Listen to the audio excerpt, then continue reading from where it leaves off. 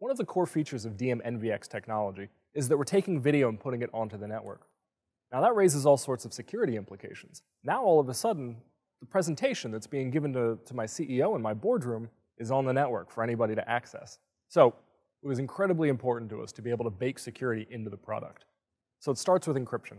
All audio and video data is always protected using the AES encryption protocol.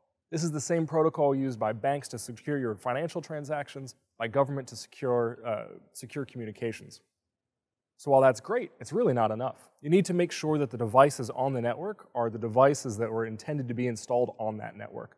802.1x is the protocol used to do that. With built-in 802.1x support, we're able to ensure that the devices on the network are those blessed by the AV integrator or by the IT department, and not some device that was brought in from outside that could decrypt the content itself. Taking it a step further, we're bringing Active Directory integration to NVX, as well as many other Crestron products.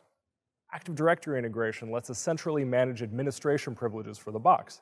Of course, every box needs a username and password, but if that username and password is shared among lots of people, security starts to fall apart quickly. So by using the Active Directory integration, we can centrally manage who can log into the box at given times. People leave the group, they can be removed from the administration privileges. Just another way that NVX is more secure. So, in summary, the stakes are much higher now that video is on the network, but DMNVX has you covered with AES encryption, 802.1x authentication, and Active Directory integration.